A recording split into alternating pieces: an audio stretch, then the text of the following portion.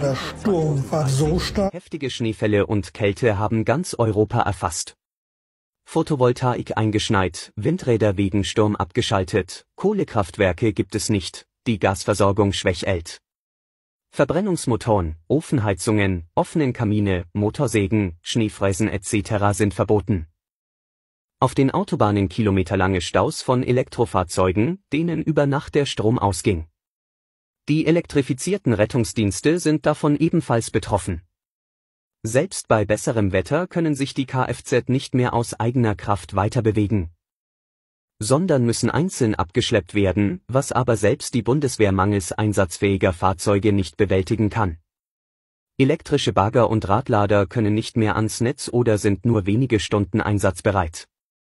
Mangels Nachfrage produzieren Raffinerien weder Benzin noch Diesel, die es nur noch in Gefahrgutausgabestellen in geringen Mengen gibt. Die Bundesregierungen der EU-Staaten requiriert alle noch einsatzfähigen Oldtimer mit Verbrennungsmotor. Mit der alten Technik Vertraute sind Mangelware im Ruhestand. Lediglich Russland und der Iran könnten noch solche Fahrzeuge und Brennstoffe liefern, was aber wegen des Strommangels und Schneemassen zusammengebrochenen Schienenverkehrs und dem Einspruch der USA unmöglich ist.